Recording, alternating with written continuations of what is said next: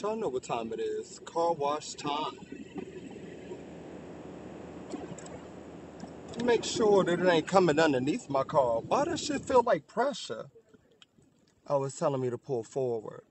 Uh, I'm, I'm pulling.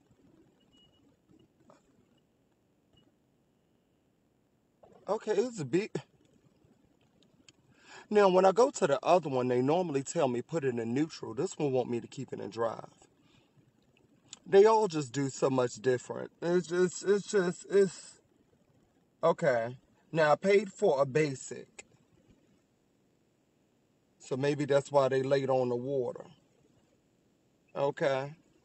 Cause you know normally when you pay for the full blast, the extreme, it be shit coming out the woodworks. It's stuff underneath the car, on the hood, little red rod.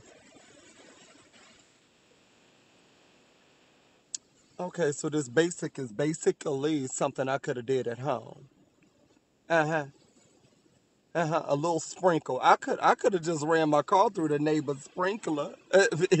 What's this? What I paid for? And that ain't the part that behooved me. What behooved me was when I tell y'all it's a mist, I can still see.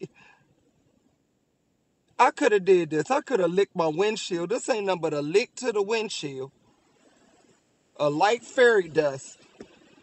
Uh, Disney presents the look.